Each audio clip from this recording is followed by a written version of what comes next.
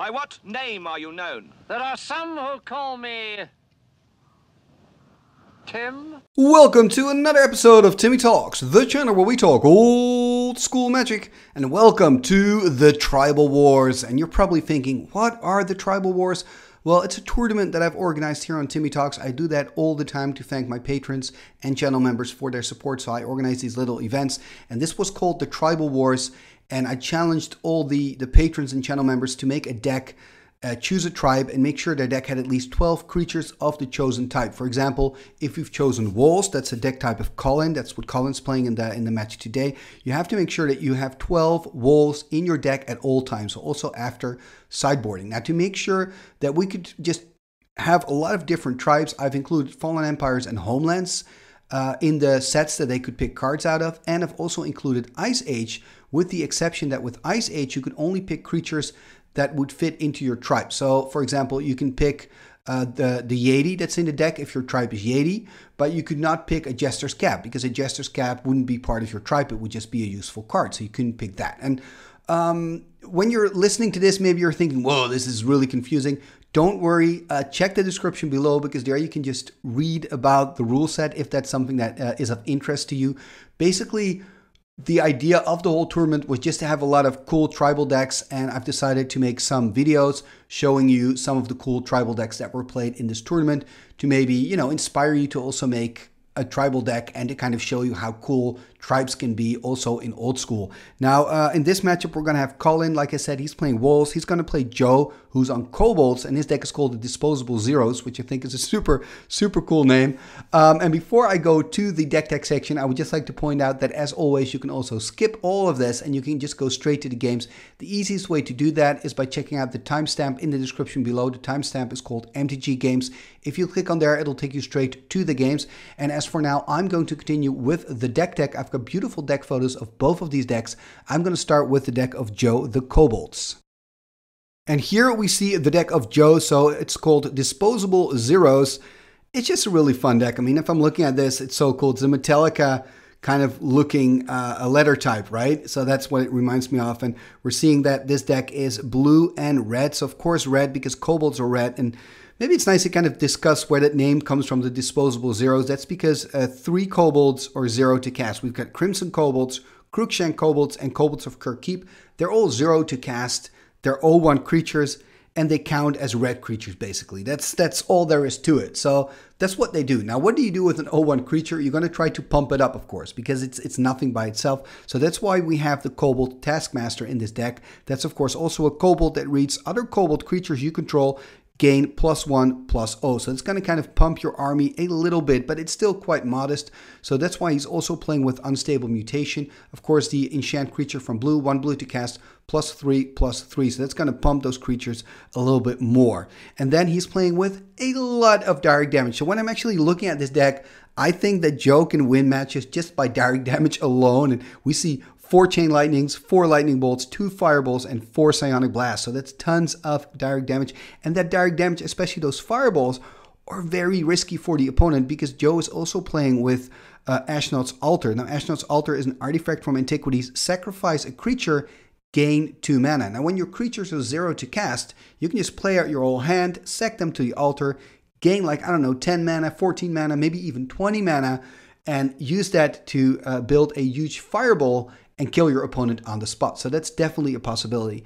Now, I think in this matchup, because his opponent is playing Stasis, this is a pretty good matchup for, for Joe because he doesn't really need that much mana. So he's fine if there's no untap step. You know, oh, I cannot untap. He can still play out his creatures, meaning it's going to be really tough for his opponent to have that Stasis Black Vise Lock going. But be, you know, I'm going to go to the deck in a moment and I'll show you, and you'll see exactly uh, what I mean. So I, I, I think there's a pretty good chance for Joe to win this. I'm also liking the inclusion of the Howling Mine. So Howling Mine is going to make sure that he's going to keep drawing new ammo, right? Because when everything that you have in your deck is so cheap, it's really easy to kind of play out your entire hand and then you've got nothing. So in Magic, you need card draw, so Howling Mines are quite important. It's also quite risky because, like I said earlier, his opponent Trout is playing, uh, sorry, his opponent Collin is playing with Stasis.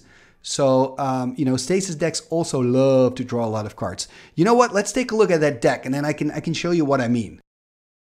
And here we see the deck of Collin, right? So his tribe is Walls, and when you pick Walls, it makes sense to combine them with Stasis, right? I thought, or you're going to go with Millstone or with Stasis, or you're going to go with an animate wall plan, which is pretty cool, but also pretty bad. So I think if you choose Walls, Stasis is probably your best option. Now, let's first kind of look at his tribe, right? So he's chosen to go for Wall of Swords, Wall of Air, and Wall of Spears. Now, I think definitely Wall of Swords is, in my opinion, the strongest wall in the core set. So, and then Wall of Air is, is a close second. So it kind of makes sense that from that point forward, you start thinking about a blue-white deck. If you play blue-white, you're going to play control. So this makes sense, right? Stasis is, of course, the key in this deck. Stasis, the famous enchantment, one blue and one to cast that reads skip your uh, untap step. So everybody skips their unt- untap step. Nothing gets untapped anymore, but you have to pay one blue every turn to keep your stasis around. If you cannot uh, pay any blue mana anymore, it's going to destroy itself. Now, that's why I think Howling Mines are so important in this deck, right? You're going to you want to make sure you keep drawing enough blue blue lands, blue sources. So you're going to make sure you have Howling Mine in there to give you extra cards, making sure you can find that blue mana and you can kind of keep playing and keep winning the game basically. And of course, the lock in this deck is Stasis and Black Vise in combination with Howling Mine. So Black Vise, it's an artifact for one.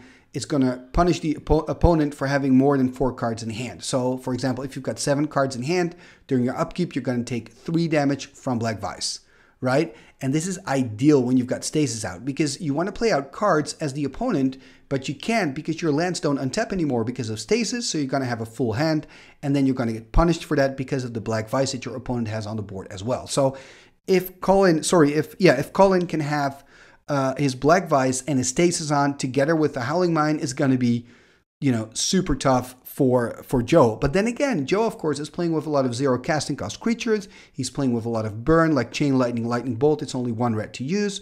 So he can still like hurt his opponent. So I think a key card in this matchup and a key card for Collin is going to be Ivory Tower. Ivory Tower is kind of the opposite of Black Vise, right? You pay one and you gain a life, so it's an artifact for one, and you gain a life in your upkeep for each card in hand above four. So if you've got seven cards in hand, you're going to gain three life if Collin can manage to get out an early Ivory Tower in combination with Howling Mines, and he's going to gain so much life, it's going to be near impossible for Joe to catch up with that, you know, because he's going to get through his, his burn, but his burn won't be as impactful because, you know, Collin is gaining tons of life every single turn. So I think for Joe, the goal is to make sure that the Ivory Tower doesn't find its way in the game. And once it's on the battlefield, that he finds a way to get rid of it. And I think for Collin, his goal is to try to find an Ivory Tower as quickly as he can. So I really think Ivory Tower is going to be a key card in this matchup. Uh, let me know what you think, by the way, in the comments below. What is your favorite tribe and why is it your favorite tribe? I would love to hear from you. And I guess uh, we've looked at both the decks, so that means we're ready. Let's go to the match. Game number one, here we go. We have Collin sitting on the right with the uh, Walls deck, and on the left we have Joe with the Kobolds deck. And I believe it is Collin on the play here who gets to start. There we go with an island. Ivory Tower. Oh, this is already, well, I mean, not devastating for Crouton Man. That's Joe, by the way, but a problem. So there's an early chain. So he's going to drop to 17, but next turn, I mean, he's only going to gain one life, of course, because he was on the play. So he's going to go up, uh, back up, I believe, to 18 right now. Yeah, there we go. So he's going to go up to 18, going to draw another card. I think if you're if you're Collin, what you want to do is make sure you can play out a Howling Mine right now. That would be ideal for him. Plays out a Strip Mine, another Tower, also pretty good. But I do believe he's got just four cards in hand now. He's going to take care of that mountain. Now, again, of course, um, Collin doesn't know what Joe is playing, and Joe doesn't know what Collin's playing. So he's like, I'm just going to take care of, of a land that's going to hurt you. But of course, we know that Joe's playing Kobold, so he doesn't really mind as much um, about losing a land as a normal deck would. That being said, it looks like Joe cannot find another mountain, plays an island, and those mountains are quite important for him. Look at that. Uh, Collin doing nothing. Probably wants to get those ivory towers back online. Tapping two here using a City of Brass. There's the first Taskmaster. So a 1-2 Kobold that's going to give the other Kobolds in the deck of Joe plus 1, plus 0. We don't see any follow-up Kobolds though. And um, 2 life here gained by Collin because he's got 5 cards in hand. And maybe, yeah, he's just going to do nothing. I think if you're Collin, you just want to tank a lot of life here. There's another mountain. There's another Taskmaster, so they're going to give each other the pump. So an attack for two, that means he's going to drop to 18. But of course, he's going to gain four life, I believe, next turn. So it's going to go back up to 22. This is going to be super tough here for uh, for Joe to try to keep up with his life gain. So look at that. So he's on 22 at the moment. Yeah, this is going to be really tough. There we see a planes. I, I think if you're Collin, you don't really have to do anything yet. I mean, Joe can at least attack for four. So that's going to make sure that uh, Collin's going to kind of stay on the same life total. It's going to drop to 18. Does he have some burn maybe as well? He's playing with four Psi Blasts, four Chain Lightnings, four Lightning Bolts. We haven't seen one of those zero casting cost Kobolds, by the way. And there we see uh, Collin again gaining the four life, so going back up to 22. I mean, this is tough. This is really tough. There's an island tapping three. Okay, there's a Wall of Swords. That's actually quite good because the Wall of Swords is going to stop both of the Taskmasters. Wall of Sword, a card from Antiquities, three to cast, a 2 3 wall with First Strike. And I believe this is a, a 4th edition copy, I think. There we see an Ornithopter, an O2 flyer for zero. And there's a Fireball on the wall and he's going to attack. And this is not ideal for Joe because, of course, we've seen Joe's list. He's only playing with two fireballs main. So ideally, he wants to keep those fireballs for a big Ashnod's Altar burn play.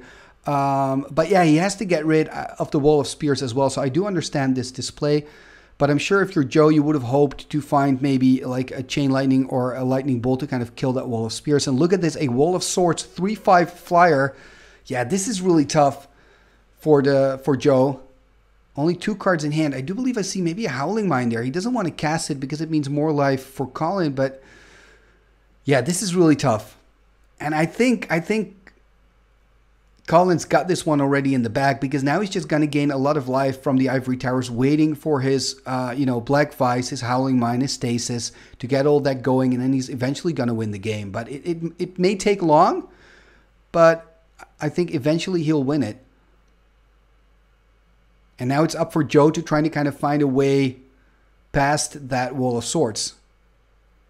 I mean, if he can draw into his other fireball, and he is playing that Howling Mine now, understanding that it's important that he does something because if he does nothing, it's just going to mean more life for Collin. But if you're Collin, you don't really mind drawing into more cards. And that's of course a hard decision for Joe to make. If if if I don't play out the mine, he's just slowly going to gain a lot of life, and I'm going to lose. If I play out the mine, he's going to gain a lot of life really quickly. But maybe I can find something to turn the game around. So I do understand his philosophy.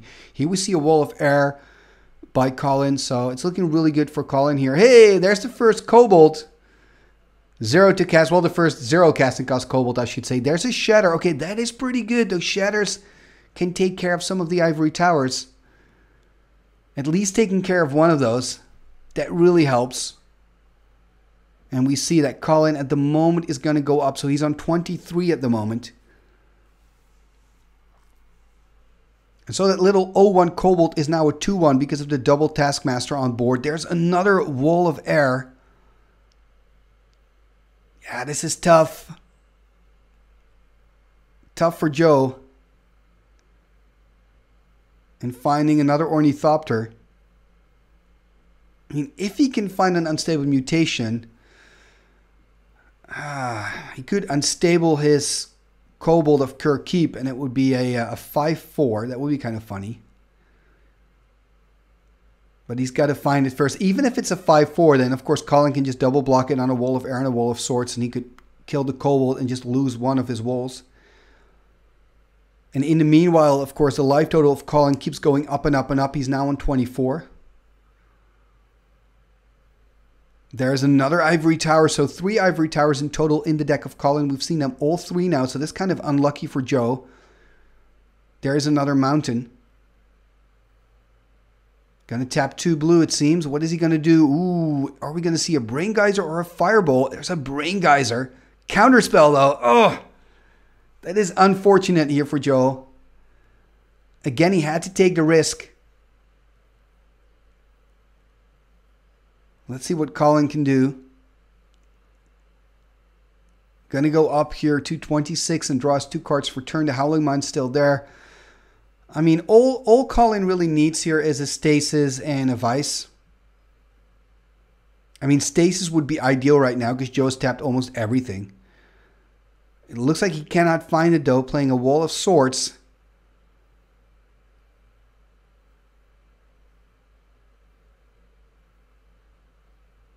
Looks like he's a little bit in the tank trying to make his next move, make the decision. I don't expect a stasis because if he would have had a stasis in hand, he wouldn't have played out the Wall of swords.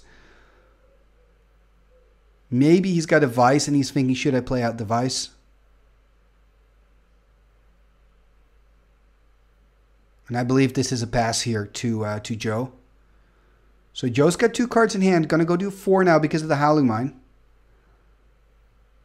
And every turn, this is gonna take longer for Joe to kind of deal with the ivory towers, the harder it's going to be for him to eventually win the game. There's just a pass, so this is unfortunate for Joe. We see Collin gaining even more life, going up to 28. This is pretty brutal.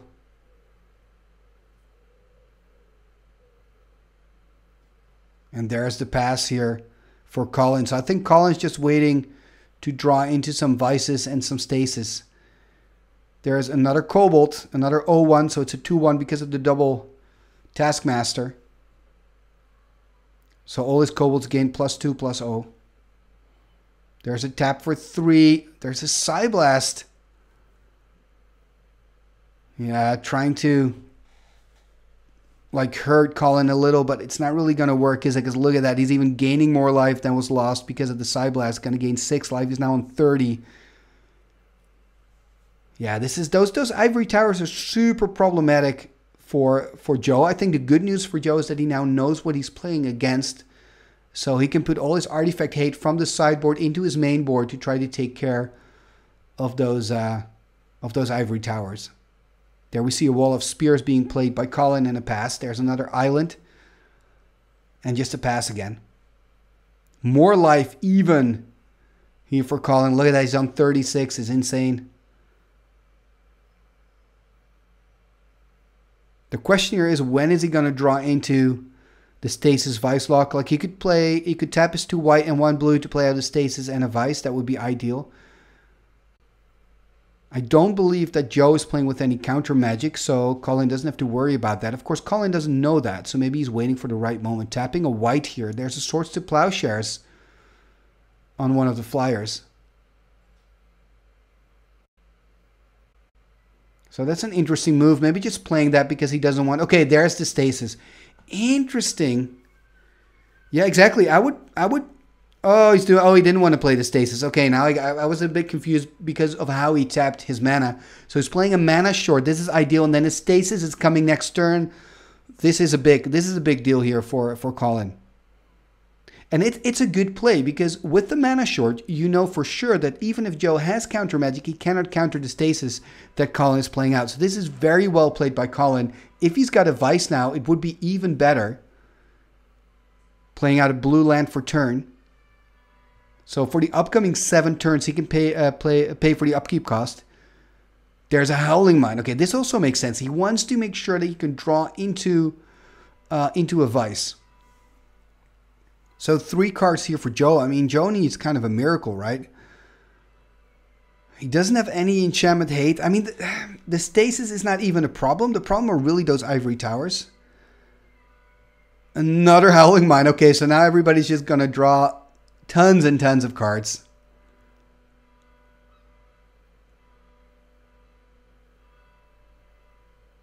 Yeah, this is going to be so, so tough here for Joe.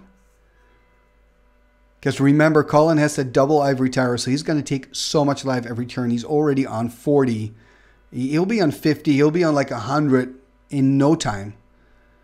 And even worse, uh, it's going to help him to find his vise. Again, I understand the move by Joe because you got to do something. But for Collin, this is an ideal scenario. Tapping one blue, are we going to see a vise?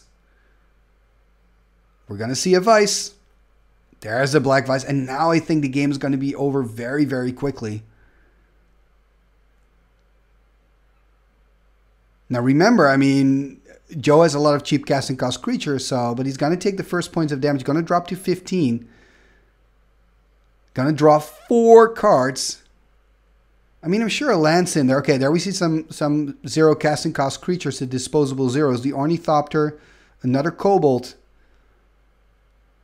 and a lance. I mean, he is able to, to play out three uh, three cards, even though he's got zero mana. So that is pretty impressive.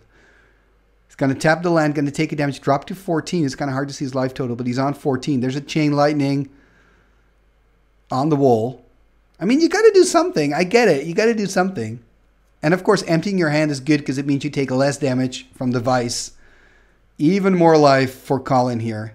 He's going to take his turn. He's got to pay for the uh, for the stasis though. There is another island. Exactly, paying for the stasis now. So it's untap, upkeep, draw. Who's paying for the stasis? Going to tap another blue, another Vise. Yeah, this game this game is pretty much over. But for now, of course, for for Joe and maybe also for Collin, you get some more information about the decks. Discarding a sword to Plowshares, three damage here for uh, for Joe's going to drop to twelve. Or perhaps it's four damage. That makes more sense because there's a double vise out. So perhaps he was on 16 and he took four damage. That would make sense. There's a chain lightning. I mean, you do you do what you can, right? If you're Joe, you do what you can.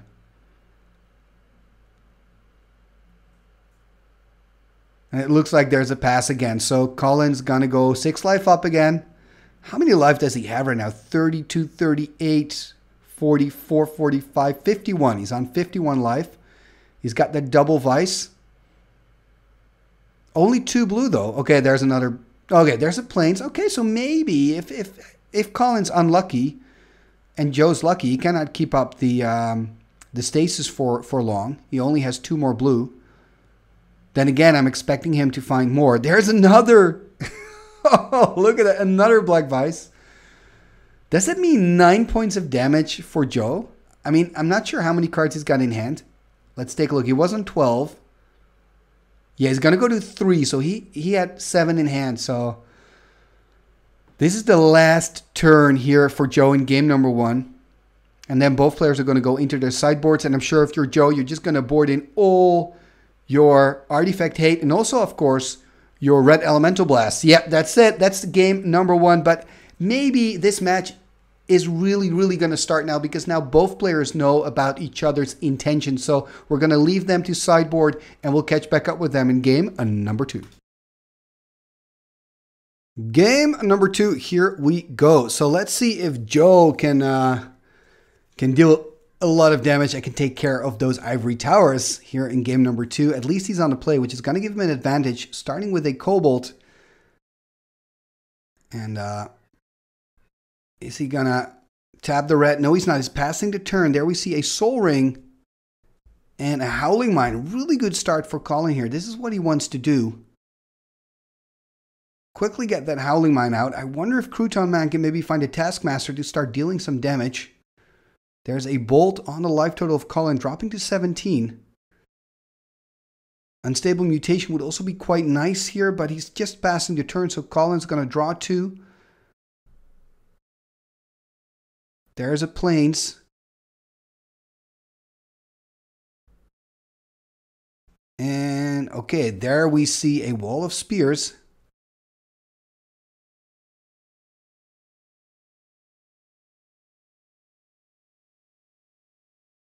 There's another blue.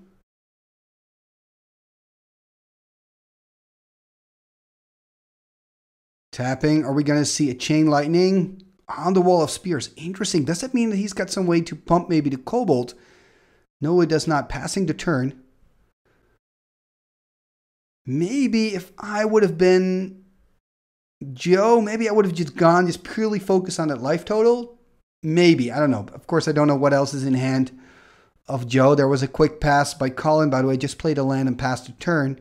So he's giving Joe kind of the momentum, but now he's got to take advantage of that though. And it looks like it looks like he can. He's just passing the turn. There are no taskmasters, no unstable mutations, no direct damage. There we see another island here by Collin. Who's of course quite happy with the standstill. it looks like we see a third player in the game. That's kind of funny. Yep. There's that hand again. Oh, putting a dice in. I like it. Anyway, we see a City of Brass here by Joe. And a pass. Collin playing an Ivory Tower. There is a Psyblast. I mean, it's really tough playing against an Ivory Tower's live game, but we do see now that Collin is dropping to 13. I think Joe's got to find a way to end this match fast. There's another red. Come on, Joe, you can do it. You need a Taskmaster. And I'm rooting for Joe, by the way, because I always like to see. Okay, there's a Shatter on Ivory Tower. I always like to see a third game. So that's why I'm rooting here for Joe. There's a Shatter on the Ivory Tower. No counter magic by Collin. So that's good news for Joe. But again, Joe cannot find a way to kind of pump his, his Kobold. So now you just have a 0 1 Kobold, unable to, to put any pressure on the life total of Collin. Collin still being on 13. Finding a Swords to Plowshares is uh, playing a Swords to Plowshares on that uh, Kobold. That is a, that's a little bit surprising. Two cards for Joe here. And I believe Joe's still on 20, by the way. But we see, uh, we see Joe's kid taking care of the dice management. Anyway, there's another Kobold.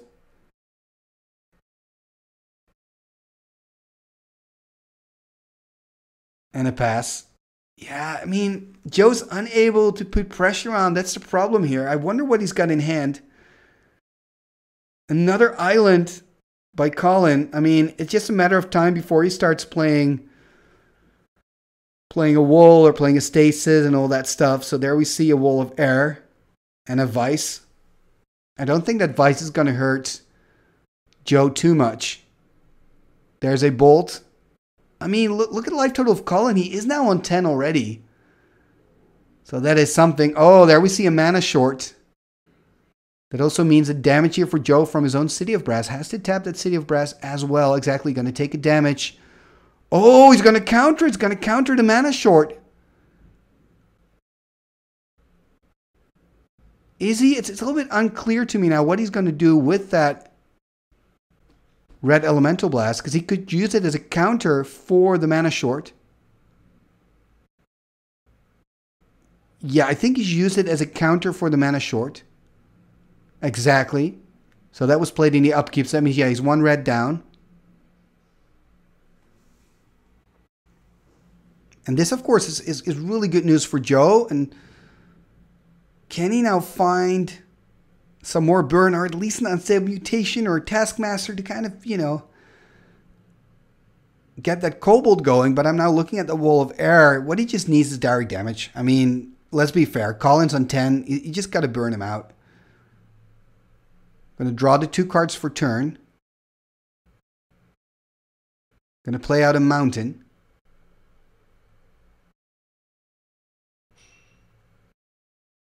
I mean, what can he do? Counting his lance.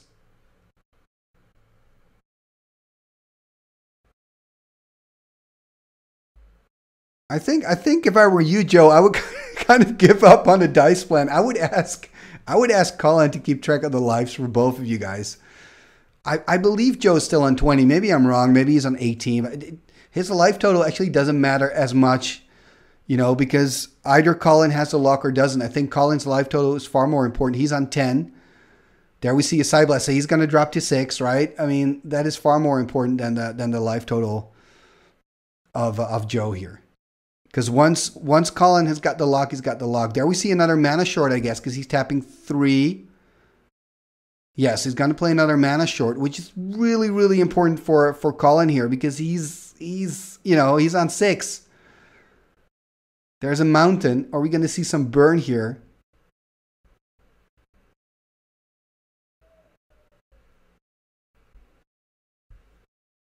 I mean, if he's got a bolt or a chain, you could you could bring Collin down to three. I guess he doesn't. He's passing the turn. Of course, uh, Collin also has counter magic. We haven't seen any counter magic from his side, and I'm sure he also boarded in some blue elemental blasts. So even if Joe can find all the burn he needs, he's not there yet. You know, he's got to find, he's got to wait for the right opportunity. There's the stasis, though. Oh, Bolt here on the life total. Collin's gonna drop to three. Oh man, this is so exciting. There's the other vise. And now the life total actually does matter for uh, for Joe. So he's on 12 as we can see. No, he's on 17. It looks like he's not going to take any damage yet. There's a City of Brass. Does he have burn? Does not. He's passing the turn. And because, of course, because of the stasis, nothing is going to untap. And Collin will have to pay one blue every time, but he's got more than enough blue over there.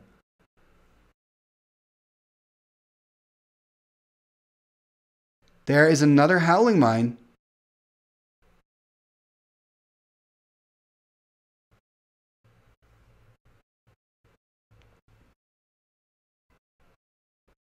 There is another mountain.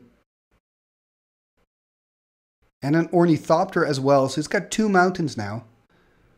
And it looks like a pass. Just a pass turn. Oh man, you're so close, Joe. You're so close. And yet so far away. I mean, if Collin can now find a tower, his life will be back up in no time with the, the, the Howling Mine on the board. Remember, both players are drawing three cards a turn. And I mean, I just got this feeling that Collin has like a blue elemental blast in hand as well. There is another Howling Mine and an Ivory Tower. Okay, there's that Ivory Tower. I wonder if we're going to see maybe a detonate or something. Looks like Joe is taking some damage here. To drop to 15. Going to draw four cards.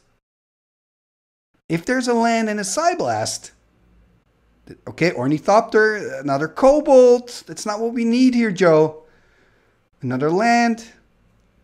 He's got four lands. It looks like just a pass. Oh, this is devastating.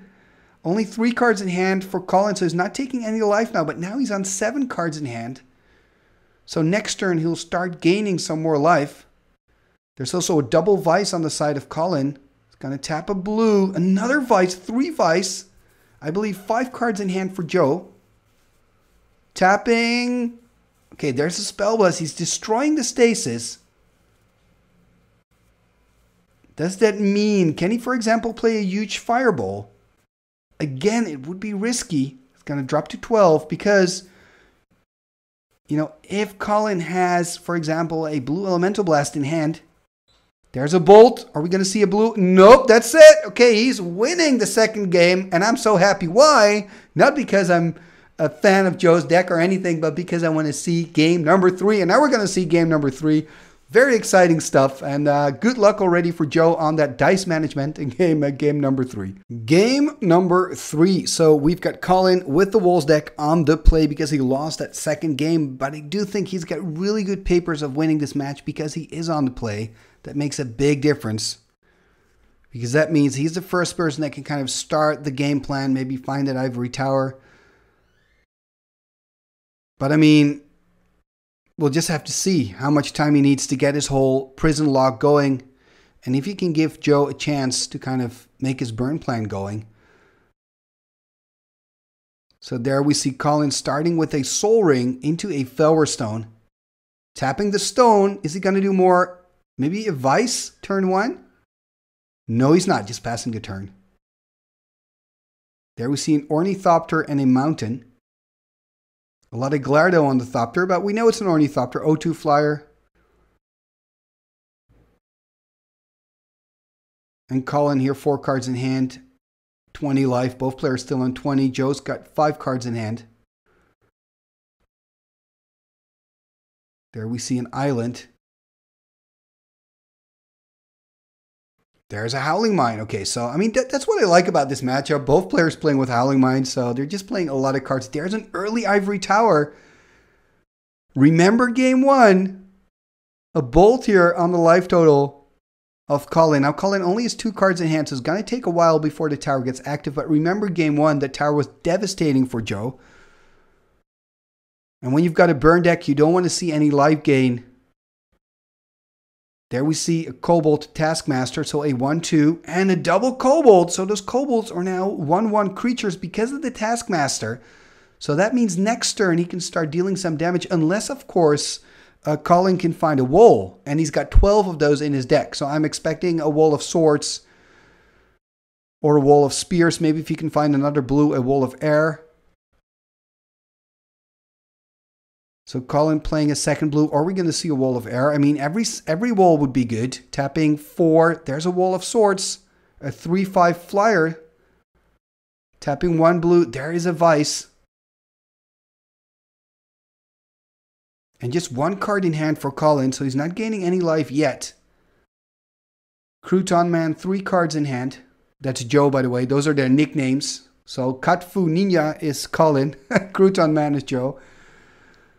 And uh, Joe's on the play, passing the turn. That is a good news for Collin here, but bad news for Joe. So Collin is kind of like starting to get his luck, getting more cards in hand so that he can get his ivory tower to go. Only three cards for Collin, so Collin is probably hoping for another Howling Mine. Joe playing a mountain, that's it, it seems. Or can he find some burn? Doesn't have blue, doesn't have access to Unstable Mutation or Psionic Blast. We haven't seen any Unstable Mutation, by the way. Perhaps he boarded those out after the first game. That could be an option. Haven't seen Ashnod's Altar as well, so there are still bits of, of the deck of Joe that we haven't seen. So maybe he can show that here in game number three. There we see Collin going up to five cards in hand and passing the turn. That means that next turn he's going to start gaining some life off of his ivory tower. There's a City of Brass on the side of Crouton Man. Ooh, there's a Shatterstorm from the sideboard. Can we see a counterspell here by Collin? That is the big question. What a good Shatterstorm. Going to take care of the Howling Mine, the Ivory Tower, and the Black Vise. And of course, that Ivory Tower is the most important thing. And before I forget, also getting rid of the Mana Rocks, the Sol Ring, and the Fellwar Stone. So this is huge. He is going to destroy his own Ornithopter, but I'm sure he's quite fine with that. Wow, what a play here by Crouton Man. So he's going to lose the Ornithopter, but he's destroyed so much. This is devastating for Collin. At least Collin still has his wool. There is another blue. And a Mox Pearl. Tapping the Pearl. Another Ivory Tower. And a Wall of Spears. And a pass.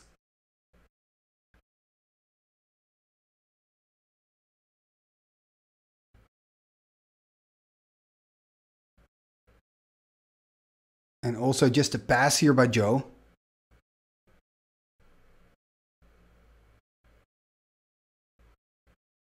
And Collin going up to three and passing. So it's going quite well here if you're Joe. There we see a Psyblast dropping Collin to 13. So it's up to Collin now to really quickly find a Howling Mine.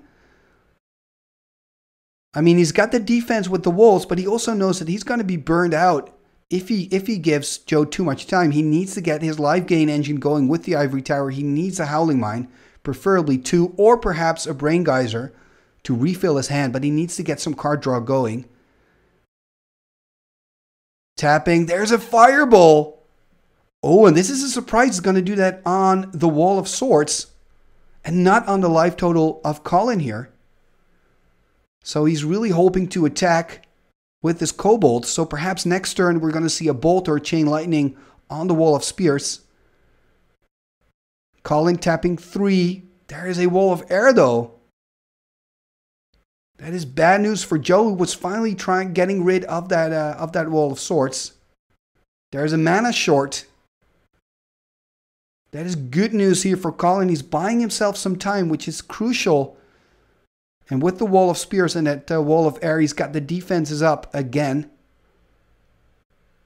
Tapping. Ooh, there's a stasis.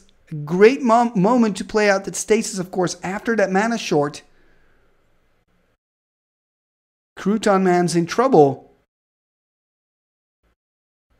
And it's so tough for him to kind of find a way through the defenses of Collin.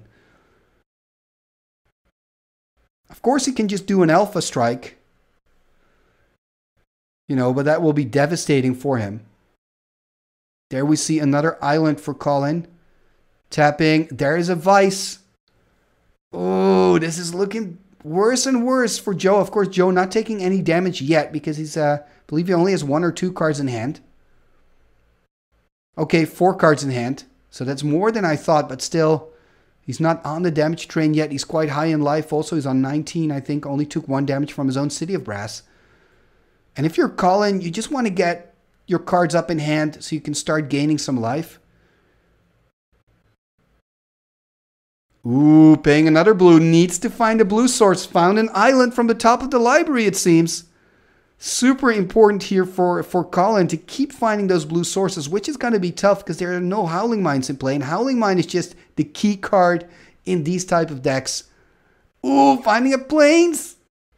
Another Vise. That means two points of damage for Joe. Joe doesn't really care about that, I guess.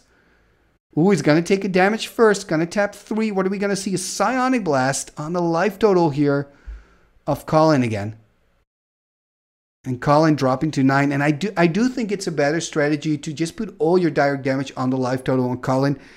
I understand you want to get rid of his walls and attack with your kobolds, which is noble, a noble aim. But I think purely from a game perspective, it's better just to point all your direct damage into the direction of Collin's life total. So Collin, of course, now cannot pay the stasis, untap, upkeep, cannot pay the upkeep. Going to die. So every, all the mana remains tapped on the side of Collin. This is devastating for him. Next turn, Joe can untap everything again. That's exactly what's happening right now. Let's see what Joe can do. I mean, if Collin can just survive this, or are we going to see a huge fireball? Is he going to burn him out? Oh, there's the fireball. Wait a minute. One, two, three, four, five, six. Seven. Yeah, nine. Fireball for nine. That's it. Oh, that's it. That is just devastating for for Collin. You know, I think Collin, you just had bad luck. It is really tough to play against these burn decks, but uh, I think it was a, it was a really close match. I think both of you could have won. And uh, thank you for bringing your decks to the table. This uh, this was a very entertaining matchup. Thank you both, and also thank you for watching another game right here on Timmy Talks, the channel where we talk old school magic. And uh, before you go, I'd like to ask you to do a few things. Please take a moment to like this video, to share, to subscribe, to do all that stuff. It's completely free and it really helps the channel move forward. And then there's one more thing I would like to ask you to do, and that is take a look on the Timmy Talks Patreon page. You can find that on patreon.com slash Timmy Talks. And there you can find out how you can become a patron of the channel and sponsor uh, sponsor the channel, sponsor what I do. And uh, if you become a patron, you also get access to the Timmy Talks Discord and you can join all the Timmy Talks online events, including tournaments like this. And you can get all that for just $1 a month. Um, oh, and before I forget, your name will be also mentioned uh, in the end scroll. What end scroll? This end scroll.